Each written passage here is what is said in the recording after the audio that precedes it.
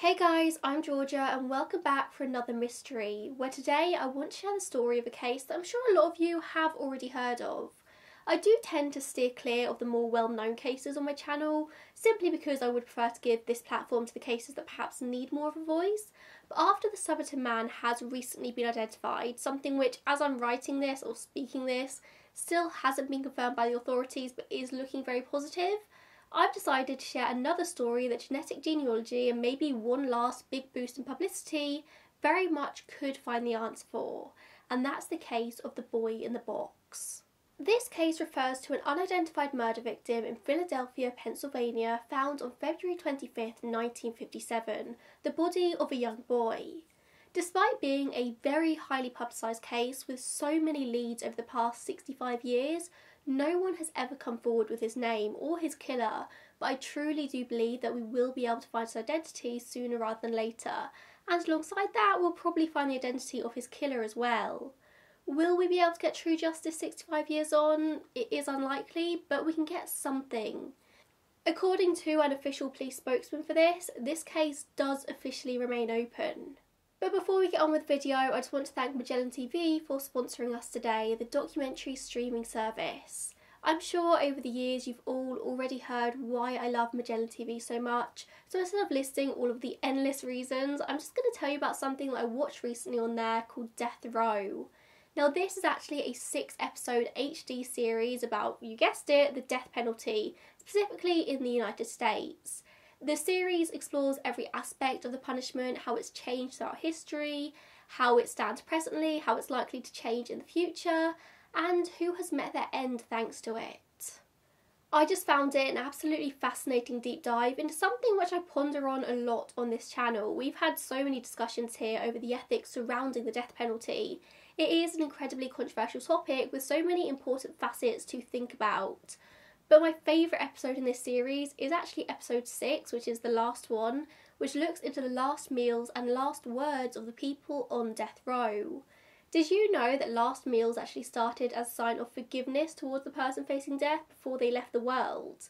It just was so fascinating. I feel like I learned so much. I really, really do recommend this one. If you want to try out Magellan TV for yourself and watch Death Row, then you can click on the link in the description box to claim your one month free trial.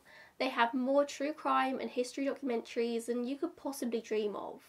I actually want to start out today by giving a shout out to one of my main sources for this episode, and that's the book Boy in the Box The Unsolved Case of America's Unknown Child by David Stout. This is the most comprehensive account of this case beginning to almost end, as well as just being a really good read. It's only £1.99 on the Kindle store, so I will leave a link down below in case anyone fancies reading it for themselves. And you'll also find all of my other links to all of my other sources down below as well. Luckily for us, this is a very extensively covered case even today, so I wasn't exactly fighting for sources to pull from for this episode. Although the majority of sources will refer to this as the boy in the box case, you might have also heard of this story as America's Unknown Child or the Fox Chase Boy as well. So, our story begins in early 1957 in northeast Philadelphia in what is called the Fox Chase section of the city. It was named three centuries beforehand because it was a popular area for, you guessed it, fox hunting, and the name just kind of stuck around. We're focusing specifically on Susquehanna Road, a road half a mile in length linking Pine Road in the west and Verree Road in the east. At this time, the southern side of Susquehanna Road was wooded, with trees extending back several yards from the road before just opening up into open fields and scrub.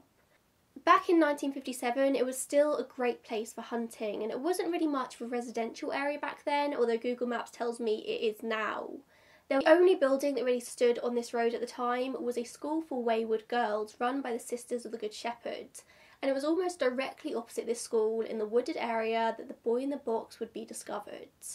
It was the 25th of February when police were first notified of this discovery by a young man who'd been hunting muskrats in this area.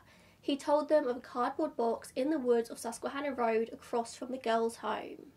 This man had been in the area checking his traps the day before, on Monday, the 25th of February, when he first came across this box. And this wasn't unusual in itself, this area was often used by people as a dumping ground for all of their junk. But something about this cardboard box made him stop in his tracks. He approached it and looked inside, seeing a doll, but something about it didn't seem quite right. The hunter didn't want to contact the police straight away. He had recently been accused of hanging around on this road just to peep at the girls in the school. He didn't want to go back to the police and admit that he was in this area again. But the next day, after a long and sleepless night, he did make the report. A patrolman called Elmer Palmer was the one tasked with the job of finding out what was in this box. They knew it was either going to be the body of a child or a very realistic doll. He soon found the box in question, which was labelled Fragile, Handle with Care, and inside the box, of course, was the body of a young boy, arms carefully folded across his stomach and wrapped in a small blanket that had been cut into two pieces. The blanket had a very distinctive diamond plaid design in green, rust, brown, and white. On first impressions, the boy looked to be malnourished. He had his eyes sunken in, and his hair was crudely cut close to his head. The look on his face was described as frozen in a position as if he were about to start crying, but he never got a chance to, his life just coming to an end. Once the crime scene was secured and everything had been noted, the boy's body was taken to the local city morgue to be looked at by the medical examiner, Dr. Spelman. The body was obviously a very sad sight. It was clear from very early on in this investigation that this was not a boy who had been loved or cared for very much, particularly in the weeks leading up to his death. He was just over 40 inches tall, so that's about 3 foot 3, and weighed only 30 pounds, which is an incredibly low weight for his height. An information leaflet from the time suggests that the boy was aged between 4 to 5 years old. However, more modern sources tend to suggest that he was anywhere from 3 to 6 years old. The malnourishment of his body suggests that his growth might have been stunted, so he may well have been older but still had the body of a much younger boy. He had blue eyes and a fair complexion, he was Caucasian, with medium light brown hair that had been cut, like I said, crudely cut close to the head. He had a full set of baby teeth, and a quick Google here tells me that a child's baby teeth typically begin to fall out around the age of six, so he was very much likely younger than six. He had an L-shaped scar under his chin as well as several other small scars all over his body, including two small scars on his groin and left ankle that might have been the result of a medical procedure, maybe small operations, but canvassing of local hospitals didn't provide any answers as to this. He had no vaccination scars, no signs of any previous dental work, he had been circumcised, and his finger and toenails had all been neatly clipped, which was one of the only signs this boy had ever really been cared for. He had three small moles on the left side of his face, one tiny mole below his right ear, three small moles on the right side of his chest, and a large mole on his right arm just above his wrist. His entire body was covered in bruises, particularly on his face and head, and some of them looked like imprints left by fingers. He also had wrinkled skin on his right hand and on the soles of both feet, as if he'd been submerged in water for an extended period of time, but this wasn't over his whole body.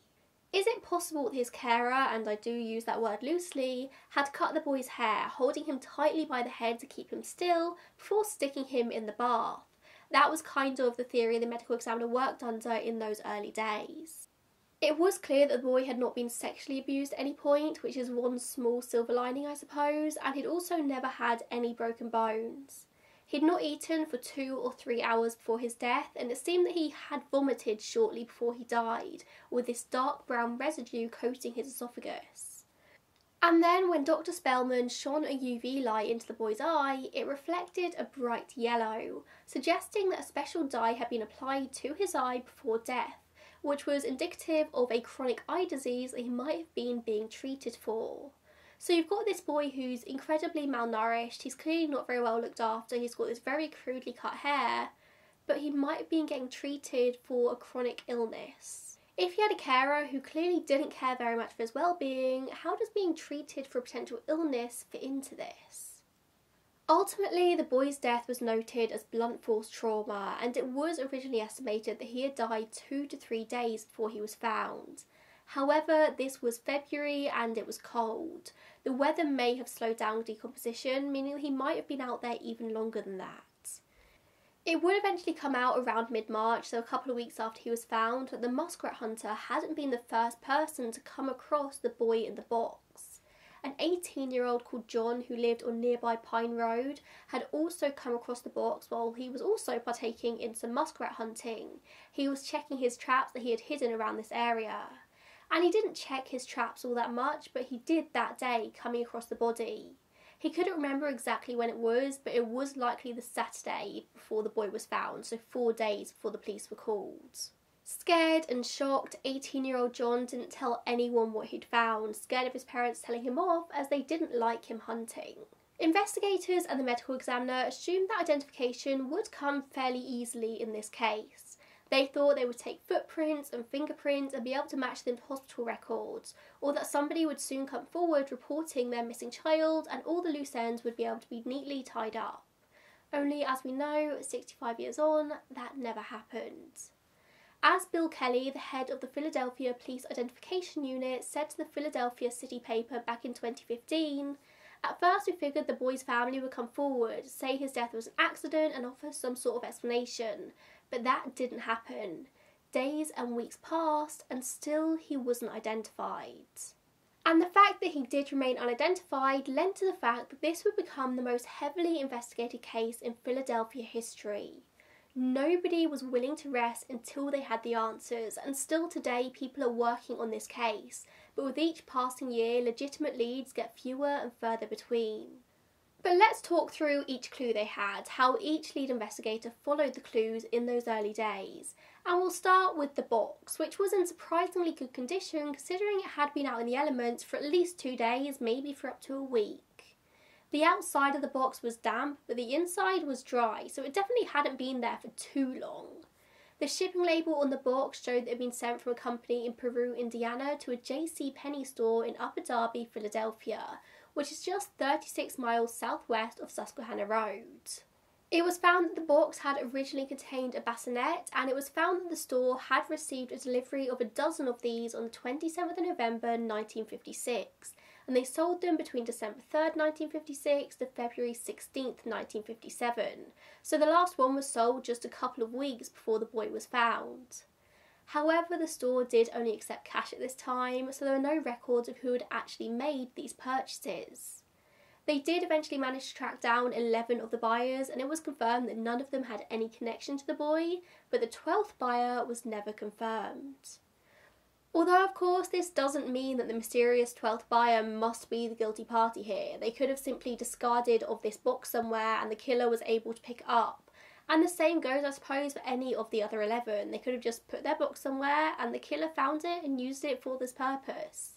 It was a lead worth following for investigators, but it wasn't necessarily going to lead to the killer's doorstep, and they knew that. So then they focused in on the blanket the boy was wrapped in, which was cut in two with a square missing from the smaller section. Was this square potentially cut away because it had an identifiable label on it? The blanket, it turned out, had been recently washed and it was sent to the Philadelphia Textile Institute for further testing, where it was found that the blanket had been mended by somebody with poor quality cotton threads. It had been either manufactured in Swannanoa, North Carolina or Granby, Quebec, but this blanket was mass produced. There were hundreds of thousands of them made, and tracking down the buyer of this particular blanket would be impossible. So again, it was kind of another dead end. And so they turned to the next clue. A man's blue corduroy Ivy League style cap in size 7 and 1 8 was also found in a path 17 feet away from the box, with the label inside showing that it was bought at the Robbins Bald Eagle Hat and Cap Company in South Philadelphia. The owner of the store actually remembered making this hat herself from leftover corduroy, saying she made 12 of them in total. In a stroke of luck, the owner actually remembered making this specific hat, as the buyer had requested a leather strap on it. She said the buyer was in his late 20s with blonde hair and was wearing work clothes, but she didn't remember a name. She did say she could see a resemblance between this man and the boy in the box, but despite a search, this man was never located.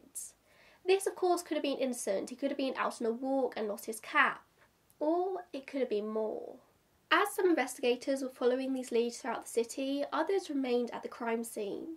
270 police academy recruits combed the area looking for anything that could be a clue, and they did find a number of things hidden in the underbrush shoes, scarves, clothing, but nothing was ever able to be definitively linked to the boy As I mentioned previously, this site was often used as a dumping ground. There was a lot of rubbish there to sift through.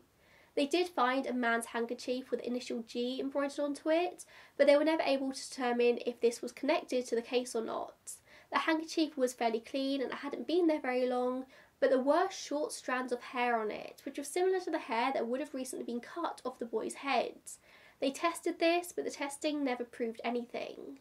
Some officers went into the local community to talk to people to see if anyone knew anything of a missing child, but again, they had no luck.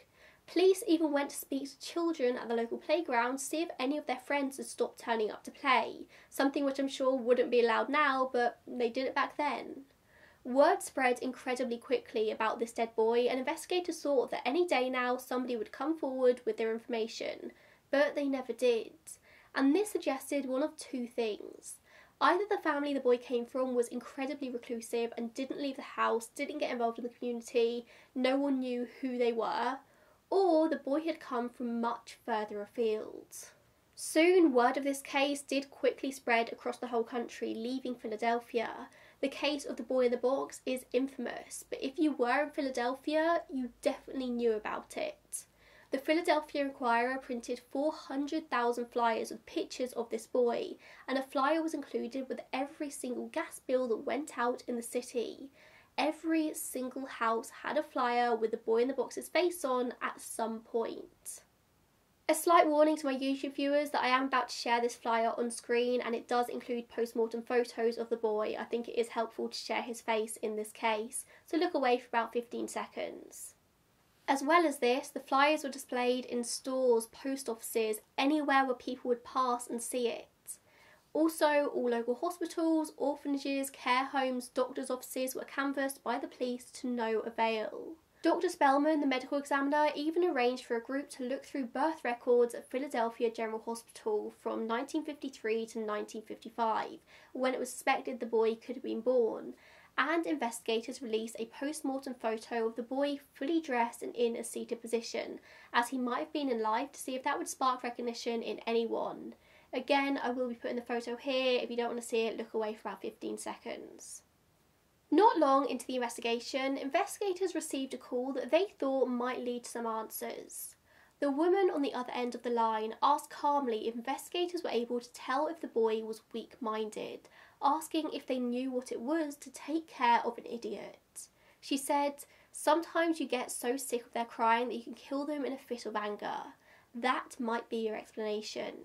Before anyone gets mad at the woman's choice of words here, it is important to remember that this was 1957, a world long before the more delicate terms we'd use today were coined.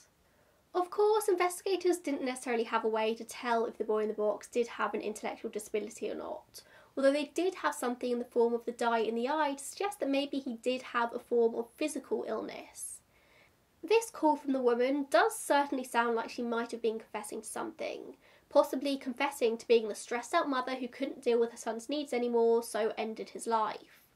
Or she could have just been any stressed out mother. It certainly sounds like she was unsupported, dealing with a disabled child of her own and taking out her stresses on the police. She didn't leave her name or any further details, and she never called investigators back. And this was 1957, and they weren't able to trace the call. In mid March, the local police officially turned to the FBI for help, as more and more tips continued to pour in. They simply didn't have the manpower to be able to fully investigate all of this on their own, they needed help. Around this time, a man known publicly only as the Good Samaritan said that on the Sunday afternoon he was driving down Susquehanna Road when he came across a woman and a young boy on the side of the road, standing next to the trunk of their car. He stopped and asked this woman if they needed help changing the tyre, to which the woman signalled no, so of course the Good Samaritan went on his way. Only after finding out about the boy in the box did he think of this situation again and called the police to let them know. He said that they did seem sketchy, like they were hiding something, hiding their faces and blocking the car's license plate number with their legs. Could this woman and young boy have been disposing of the body together? Or was she just yet another person fly tipping on the side of the road? Both illegal, one worse than the other. Over the coming months, multiple people would come forward claiming they knew the boy's identity, but nothing ever panned out. Some were even so sure they came to visit the boy in the morgue in an attempt to identify him, but of course they never recognised him. Occasionally, though, investigators would get a call that was more helpful. One day, the Homicide Bureau got a call from a man called Max Schellinger, a barber who said that he was almost sure that he'd cut the boy's hair just a number of days before he was found.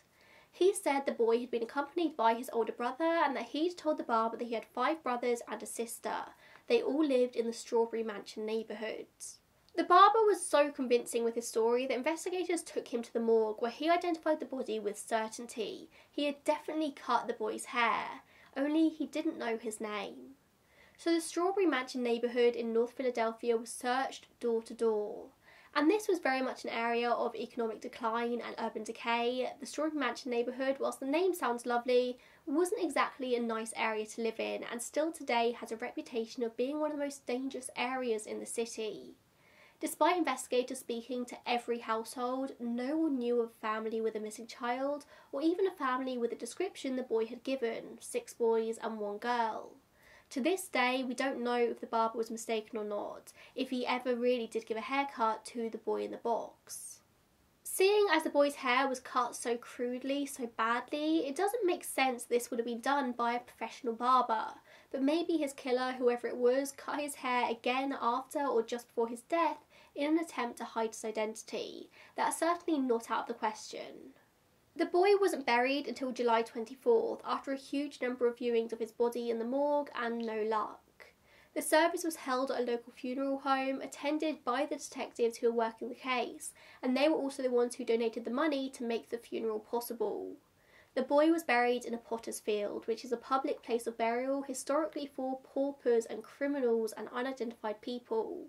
On his gravestone, which was donated by a local business, was the simple inscription Heavenly Father, bless this unknown boy, February 25th, 1957. A month or so after the burial, a man from Delaware contacted police, saying that just a few months before, his wife, two little girls, and toddler son John had gone missing. The man said he'd gone to work one morning and upon his return, the house was empty. And he hadn't seen his family since, insisting that he'd had a happy marriage and had no idea why his wife would disappear with the kids. When he learned about the boy in the box, the man wondered whether it was his son, saying that John was a very thin child with a high metabolism and he struggled to retain any weight. His son would have been four years old at the time. From what I can find though, nothing ever came from this, and I don't know if this man ever found his family or not. With no luck in finding the boy's identity, investigators decided to focus more on finding his killer instead, which is still a pretty impossible task, but they weren't having any luck either way. Their focus turned to a local family called the Martinez family, Joseph and Margaret Martinez, with their many, many children, all of whom appeared unkempt and skinny. When a neighbour one day saw their nine year old son Raymond rifling through the rubbish bin for food, they called the police who made a welfare visit. Sure enough, Raymond was found to be incredibly skinny and weak, along with seven other children found in the house. Strangely enough, though, only three of those children appeared to be malnourished, the rest were fit and healthy. When Joseph was later questioned, he said that his wife Margaret had mental health issues and had just seemed to hate four of their children from birth. But where was the fourth child? The officer had only found three malnourished children in the house, and they had nine children in total. When asked about a three year old daughter, Rose, Margaret said that she put her in the bin after she died because they couldn't afford a funeral. Margaret was said to be cold and unfeeling, and she threw up alarm bells for the investigators, who couldn't help but remember the story of the Good Samaritan, of a woman who was not dissimilar in description to Margaret at the side of Susquehanna Road. If Margaret could literally admit to throwing the body of her three year old daughter in the bin, she very well could abandon the body of her son at the side of the road, probably showing him more dignity than she did Rose. And the majority of the Martinez children had been born at home, meaning there were no records of them with the hospital. The children very easily could disappear and nobody would have a clue. But how on earth were they supposed to prove anything in a time before DNA testing? Well, they couldn't, and nothing much ended up coming of this lead, but Margaret still had a missing child. And the same can be said for lead after lead in this case, they all just led nowhere. Now, a lot of people have always thought this death was obviously a case of cold hearted murder, but what if it wasn't that at all?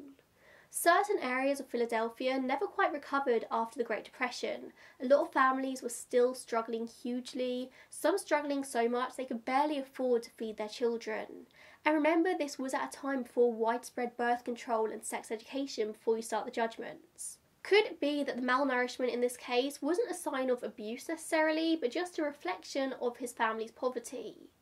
Maybe, but then what could be said about the bruising and the cause of death being blunt force trauma? Maybe the death was accidental, maybe the boy was beaten, but maybe it was just a case of manslaughter rather than cold blooded murder. I don't think that makes it any better, but we're just kind of spitballing ideas here. But this was also a boy who was clearly receiving medical treatment in the form of surgical scars and the dye in his eye. Medical treatment was expensive. Nothing about this boy's situation quite made sense. Every aspect of it just juxtaposed the other. Perhaps he had been in a good situation until just a few weeks or maybe months prior to his death when things changed for him for whatever reason. A possible kidnapping or abduction could make sense here, but the point still stands that no one ever reported a boy as missing that matched his description, not in the state or countrywide. The only thing that keeps going around my head is perhaps the boy did have some kind of chronic illness that maybe caused him to bruise easily, hence the bruises. Again, I'm just spitballing. I could talk about so many different theories in this episode, it would be never ending. So many different people have had suspicion cast upon them here for tiny reasons. So I am just going to focus on some of the main theories that have been thrown around over the years, the ones that seem most likely. But as we've seen in true crime cases being solved over the years, sometimes it is Occam's razor, the simplest answer is the correct one, and sometimes it's completely rogue. Whilst this case has technically closed or gone cold at some points in history, a lot of people have never given up. A man called Remington Bristow was an investigator at the medical examiner's office, and he made it his personal mission to reunite the boy in the box with his identity, and he took the case very personally due to the death of his own son as a child. From 1957 to into his retirement, and up until his own death in 1993, Remington worked in this case practically full time, spending thousands of dollars of his own money chasing leads across the country. He carried the boy's death mask with him wherever he went, keeping it on his desk at work and in his briefcase when he wasn't to remind himself of his mission. Bristow's main theory was that the boy was the son of a woman called Anna Marie, who was the stepdaughter of a couple who ran a local foster home, and she was an unmarried woman. This theory came about in 1960, so three years after the boy had been found, when Bristow followed through on a psychic's vision that the boy had come from a Philadelphia foster home that had been run out of an old mansion. Surely enough, upon looking into it, Bristow found that such a foster home did exist, only police had already spoken to them. Regardless, he interviewed the people running the home himself, and the next year, when the old home was sold, he attended the estate sale. There he found a bassinet that very well could have been the one originally sold in the box. He told investigators of his theory, but they never really followed through on it any further. They'd already spoken to the couple after all. Bristow theorised until the day he died that Anna Marie had been unable to care for her son, hadn't been allowed to take him out in public to avoid the shame of being an unwed mother. When the son died, likely as a result of an accident, she was forced to abandon his body to avoid bringing any attention to her family. In 1998, the case of the boy in the box was officially reopened, and the foster father, Arthur Nicoletti, and Anna Marie were interviewed once again, and the case against them was closed for good. Although, from what I can see, it actually looks like by this point, Arthur had actually married his stepdaughter, Anna Marie, which is a whole world of icky in itself. Anna Marie admitted that she had indeed had a child out of wedlock who had died in the mid 50s and had been electrocuted in a tragic accident, but the boy wasn't the boy in the box, and morgue records did confirm her story. This same year, so 1998, the boy was actually exhumed and samples of his bone and teeth were taken for DNA analysis, and they'd been hoping to test against Anna Marie's DNA, but with the morgue records confirming what they did, there wasn't really any point. But that does mean that today we do have the boy's DNA information on file, mitochondrial DNA extracted from his tooth after several unsuccessful tries. So familial tracing is very possible in this case and I'm sure is currently underway. After the boy was exhumed, he was reburied in a proper cemetery at Ivy Hill Cemetery in Cedarbrook, Philadelphia, who donated a large plot for him and he's cared for to this day by cemetery workers as well as the local public, who keep his grave decorated with flowers and toys. The coffin, headstone, and funeral service were all donated by the son of the man who had originally buried him back in 1957, and the gravestone was engraved simply with America's unknown child hopefully not for too much longer. 1998 was actually a really big year for the boy in the box. In the early October, America's Most Wanted aired a segment about him in cooperation with the Philadelphia Police Department and the Vidocq Society, which is a crime solving club in Philadelphia consisting of forensic professionals and motivated private citizens who donate their time and knowledge to the solving of unsolved cases, focusing on historic cases like this one. From what I can gather, the group mostly consists of retired detectives and investigators. The Boy in the Box case had very recently been reopened, and police wanted to bring as many fresh eyes to the story as possible, and being on America's Most Wanted had the desired effect. Over 150 new tips came in. Most of the tips that came in were useless, but some did have promise. There were some names of children who had disappeared who resembled the boy in the box. There were some names of dodgy characters in and around the Philadelphia area. In almost all of these tips, the people were tracked down and nothing of interest was found. Nothing ended up being the tip that would solve the case, but by this point it was over 40 years on, and any new tips were worth being followed through on. Detective Tom Augustine of the Philadelphia Police Department Homicide Division took over the case at this time, and he's been in charge of it ever since, or at least as far as I was able to find online. I think he is still heading it. Another theory in this case is something often referred to as the Hungarian theory, which Bill Kelly started looking into after coming across a newspaper article about Hungarian refugees in the aftermath of the anti Soviet revolution in 1956. He noticed that one of the young boys in the photograph accompanying this article looked a lot like the boy in the box. They had the same ears and the same face shape. However, the medical examiner had concluded that, from looks alone, the boy in the box had Northwest European ancestry, which is Scandinavia, the UK, West Germany. Hungary is East Europe. Also, the boy wasn't vaccinated, and any immigrants to the USA would surely have to be. Regardless, Kelly contacted the immigration services to see if they could help, and they could, but it wasn't exactly the answer that Kelly wanted. Years later, they found the boy in the photo, having been adopted by an American family in North Carolina. The boy was very happy and very much still alive. But still, people wonder if perhaps the boy in the box had been an immigrant or the child of an immigrant family, able to slip between the cracks of bureaucracy. It's nothing more than speculation, but that could make sense. One theory that a lot of people do think might have an actual basis in reality, though, is one that was first brought forward in 2002 by a woman identified as M or Martha. Some sources even say Mary. We'll call her Martha. And Martha even provided a potential name for the boy Jonathan. You can find Martha's whole testimony in the Boy in the Box book, but I will summarise it in this video. So, the lead investigator on this case, Tom Augustine, received a phone call from a psychiatrist in Cincinnati who said that one of her patients had called her in the early hours of the morning, demanding that she contact Philadelphia Homicide in regards to the Boy in the Box case. So, Augustine and two retired investigators who were still working on the case headed straight to Cincinnati, where they met with Martha and her doctor. Martha told investigators that she was 13 years old in 1955 when Jonathan came into her life. She'd had a very hard childhood. Her father was a high school teacher, her mother was a librarian, both held in high esteem by the community, but her home life was nothing but terror. She says she was molested by her father, which was allowed and even encouraged by her mother, who apparently had an interest in young boys herself. It seems like her parents had some sort of agreement between each other, which makes me sick to my stomach. When Mary was 13, her mother took her on a drive to somewhere else in Philadelphia where she went into a house. She handed over an envelope of money and returned with a baby boy, Jonathan. The baby was kept in the basement of their house in a room that used to be used for coal, and Martha wouldn't see much of Jonathan at first, but then eventually she would start sneaking down to the basement to spend time with him. She said that over the next couple of years she never remembered Jonathan saying any proper words, he would just babble. And for two and a half years, that's how they lived, with Martha visiting him in the basement whenever she could. The parents never cut Jonathan's hair, so it grew very long, and they would bathe him just once a week. Then one day in 1957, when Martha was 15 years old, something happened. Her mother got mad with him for some reason, dragging him up for his bath and ordering Martha to cut his fingernails. The mother then tried to put him in the bath, but it was way too hot, and Jonathan kicked up a fuss, eventually throwing up the baked beans they'd had for dinner that evening.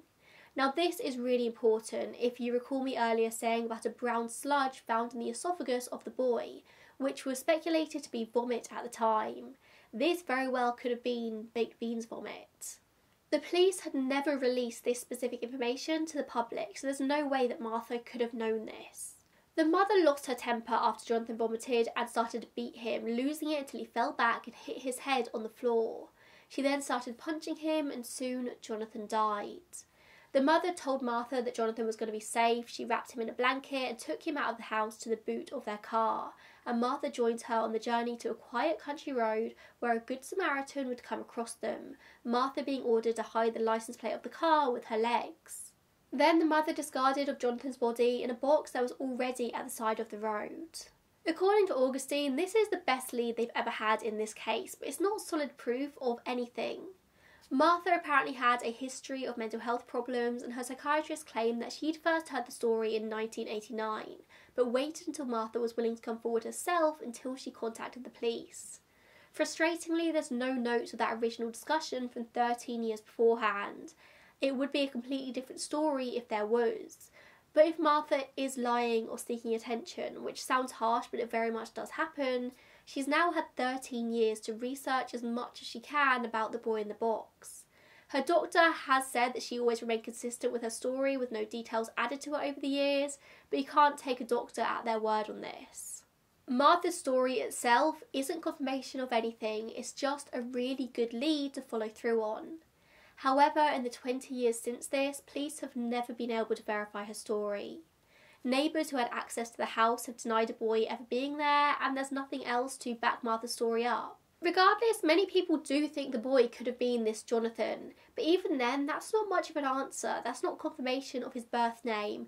You don't know where he came from, why he was given up in the first place. There's still so many unanswered questions.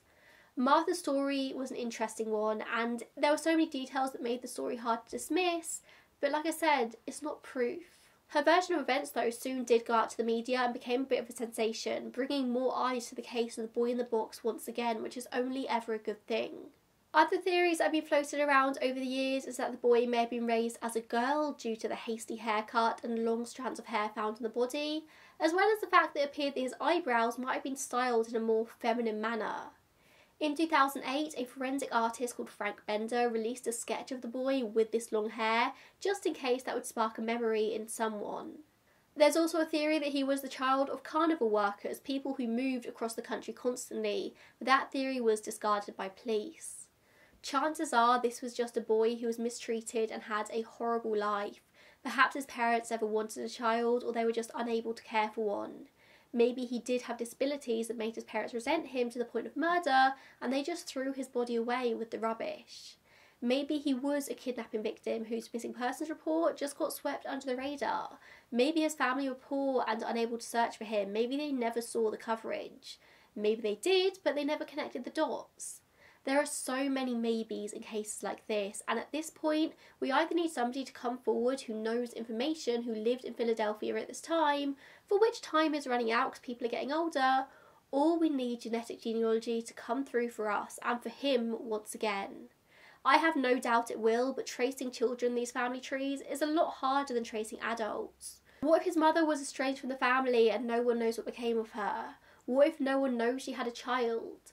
There's a chance by this point she might have passed herself, so we might not ever be able to get full answers that way. But if there's anything true crime and DNA technology is teaching us at the moment, it's that even the most unsolvable cases can be solved, so there's always hope. I was hoping there would be more recent advances in this case, but I couldn't find all that much online. You've just got to hope that people are working quietly behind the scenes. Apparently, a genealogist from the company Identifinders accidentally announced towards the end of 2021, so last year, that an announcement in this case isn't too far away, but it has been nearly a year now, it's September 2022. I've also seen people saying that rumour has it that the record of the oldest National Centre for Missing and Exploited Children case solved by genetic genealogy, which as it stands is the Bibb County John Doe from 1961, would soon be broken. The boy in the box predates Bibb County John Doe or Danny Armentrout as he was identified by four years. So if that record's about to be broken, it very well could be the boy in the box. I've seen people speculating on forums online for the last couple of years that he'll be identified by the end of the year, but that just doesn't seem to be happening. So let's all cross our fingers that 2022 is the year. But for now, let's try and spread the word and get that final boost of information out there. You never know, it could well be they already have his identity but are still trying to trace family to get the full picture. But this is a murder investigation at the end of the day, and his identity doesn't form the whole story. There's a lot to unpack in this case, even if they do find his name. But you know what? That's the most simple of things, and that is the most important thing. Thank you so much for tuning in today, and I'll see you in the next one. Bye, guys.